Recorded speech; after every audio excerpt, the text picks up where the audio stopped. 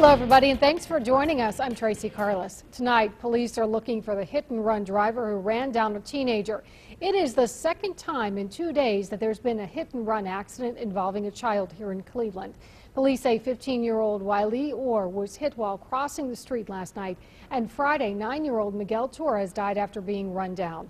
Police just released the woman accused of leaving the scene after hitting the 9 year old with her car. News Channel 5's investigator Sarah Buduson has been working on these stories today. And Sarah, what can you tell us tonight? Tracy, today police said investigators have little to go on as they try to find the driver who ran down 15-year-old Wiley Orr. Ruth says drivers often ignore the speed limit on Union Avenue on Cleveland's east side. It's pretty dangerous right here. Last night, one driver did something much worse. Police say 15-year-old Wiley Orr was crossing Union Avenue at 99th Street when someone hit him and kept driving. It's wrong, and someone should speak up, and or they should turn themselves in. This has shown me that every moment is precious. It is the second hit and run in two days involving a child in Cleveland. Bobby Reed Torres's nine-year-old son Miguel was killed Friday while crossing the street on the west side. Miguel loved life.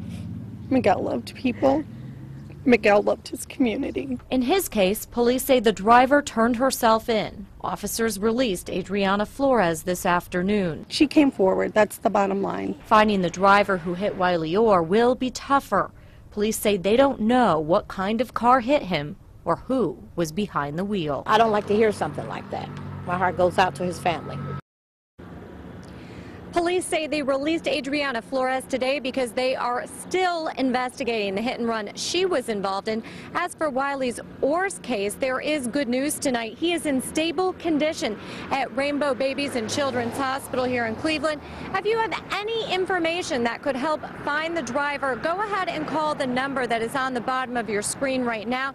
That is Cleveland Police's uh, hit skip unit. Go ahead and call them if you have any information that could help find the driver who ran down the teen. On your side, I'm investigator Sarah Buduson, News Channel 5. Okay, Sarah, thanks very much for your live report. The